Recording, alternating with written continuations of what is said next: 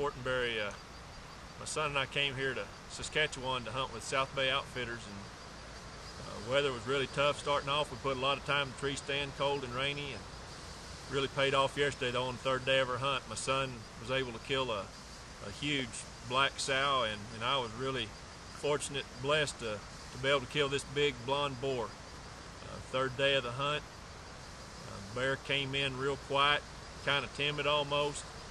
I walked up to the bait barrel. He was only there about 20 seconds whenever I was able to put an arrow through him.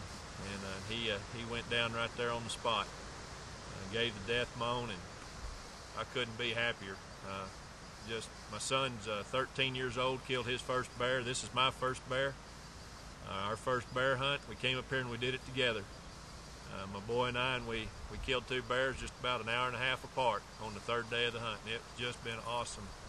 I'd highly recommend uh, for any of you. Grab your sons, grab your daughter, whoever, and come up here and kill a bear with Andy Milam at South Bay Outfitters. My son's only 13 years old, just turned 13 two weeks ago, and he, he threw an arrow all the way through that bear.